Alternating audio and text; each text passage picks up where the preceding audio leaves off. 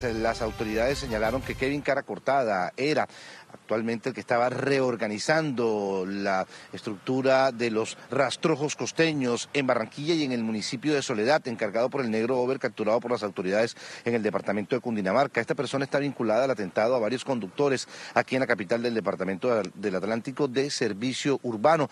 Al momento de la captura en el barrio Las Moras del municipio de Soledad le encontraron drogas, una libreta donde llevaba los apuntes de cada una de las extorsiones que llevaba a cabo, al igual que fue decomisado su teléfono celular.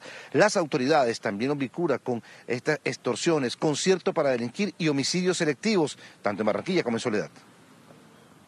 Este individuo tiene que responder por los delitos de concierto para delinquir agravado, extorsión agravada y presunto dinamizador del delito de homicidio agravado y tentativa del mismo.